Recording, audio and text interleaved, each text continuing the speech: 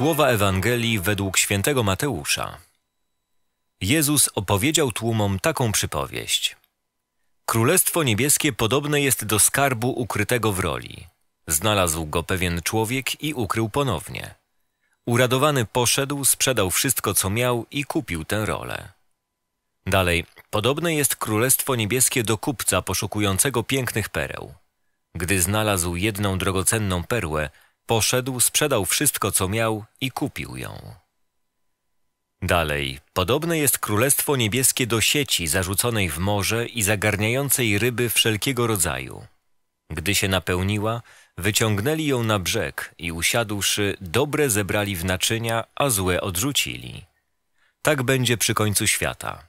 Wyjdą aniołowie, wyłączą złych spośród sprawiedliwych i wrzucą w piec rozpalony. Tam będzie płacz i zgrzytanie zębów. Zrozumieliście to wszystko?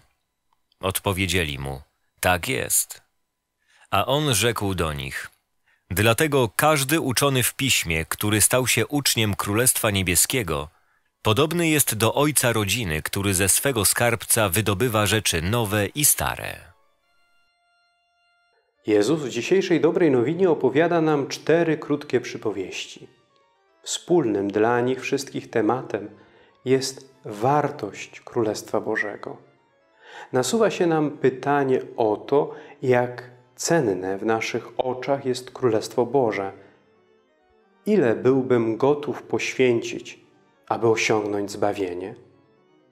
Zbyt rzadko myślimy o przyszłym życiu, o chwale zbawionych w niebie. Wydaje się to tematem odległym, niedotykającym nas.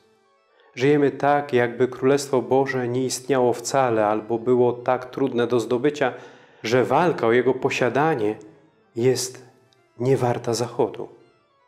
Czy przejmuje się zaproszeniem Jezusa do poszukiwania Królestwa Bożego i do Jego budowania już teraz w swoim życiu?